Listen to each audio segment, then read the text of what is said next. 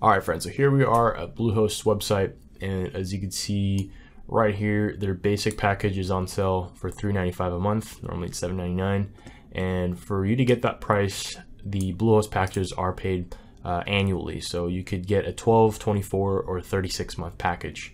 And with that in mind, when you do get the package, you do get a free domain, a free site builder, and you're able to actually install WordPress with one click uh, through their cPanel. And as you can see here in the very bottom, they're actually the number one recommended hosting website by WordPress itself, which is actually a really big deal, uh, mainly because of, of how trustworthy they are. Also, with my opinion, you know, whenever I have issues with Bluehost, I just contact their support, uh, either through their call center or through their chat lines, and I haven't really had an, an issue with them. And also, by joining Bluehost, you do get up to $150 in um, an actual ad credit. So you can use it in Google, Bing, and other services as well. So now let's talk about the plan. All you have to do is click here, it gets started now. And let's go over their shared hosting plans. So they have three packages with their shared hosting plans. They have the basic, plus, and prime packages. And the key differences between those is that with the basic versus the plus and prime, you have one website that you could host through that package versus unlimited websites that you could actually host through that package. Uh, with the basic plan, you do get capped though with 50 gigs, but with all three packages, the bandwidth is unmetered. So if you don't know what that means, that basically means that the amount of traffic that you bring in is not capped when you're hosted with Bluehost. Now, when you get hosted with other companies, you may get capped with a certain number like 20,000 to 100,000 people on the actual bandwidth. And uh, overall, in my experience, you know, I haven't really had an issue with Bluehost bandwidth issues. So overall, I do use uh, Bluehost services for my own marketing funnels uh, when I bring in traffic, and I haven't really had an issue. Uh, other than that, with the basic package, you do get one included domain.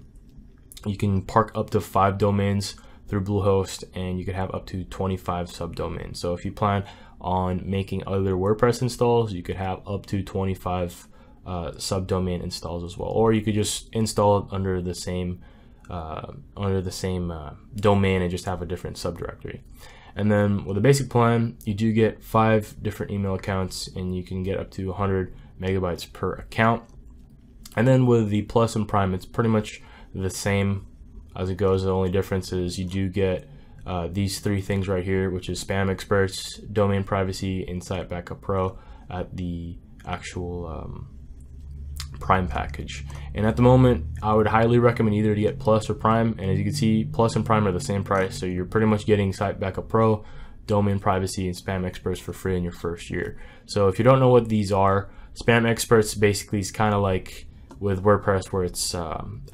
So a lot of the times there's a lot of spam bots out there that will actually spam your blog or spe- uh, specifically like comments on your blog. With Spam Experts, that helps basically deflect any type of spam that comes in to your website. And then with domain privacy, this is your DNS privacy or your Whois privacy. You also get that for free with that, this package, unless you already have a domain through like Namecheap or somewhere else, then that's free from that um, other servers. But if you don't have a website and you plan on doing it, that's also a good thing to look at. And then with Site Backup Pro, basically what this is is uh, I believe every day or every week it actually backs up your website. So if anything happens, you just go to this app and then it will actually pull up that backup file of your actual website from the past or through um, an archive of um, saves that they've had with your website. So that's pretty much the basic plans with Bluehost. All right, so now we are here at gtmetrix.com and I already analyzed my own website's web speed. And as you can see over here, the very bottom left at page speed score, it scored at 91%. And normally the average page speed score for most websites is 71%. And then if you look at the load time, my website loaded at 3.4 seconds. And then if you look at the average loaded time for most of these websites is 8 seconds.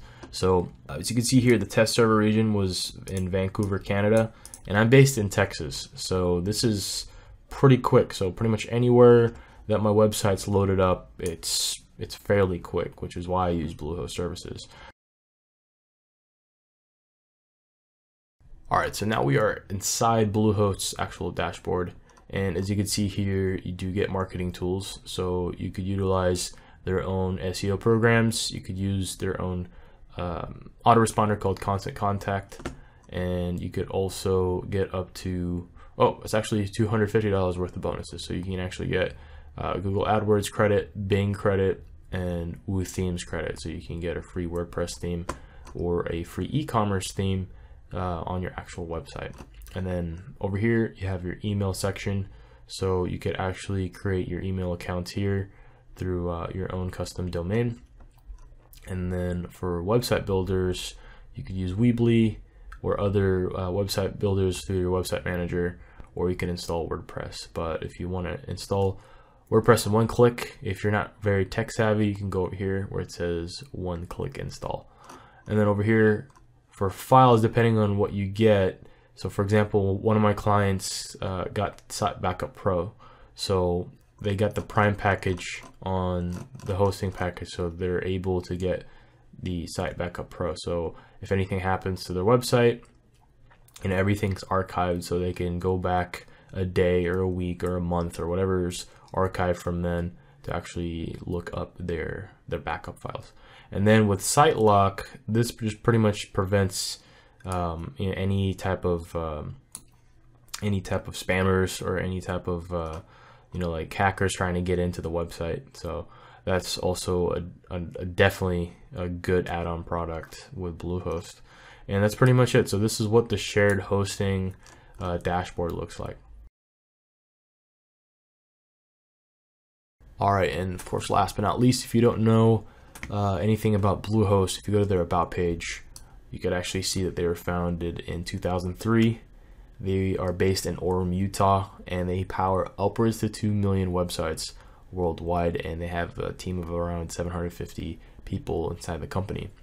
Also, if you don't know this, they're actually part of this massive group called Endurance International Group. So, the company was bought out in 2010, and if you actually look at their site, Endurance International Group actually owns some of the biggest hosting companies and domain and site building companies out there. So they own Bluehost, they own HostGator, iPage, SiteBuilder.com, Domain.com, and Mojo Marketplace and other apps as well.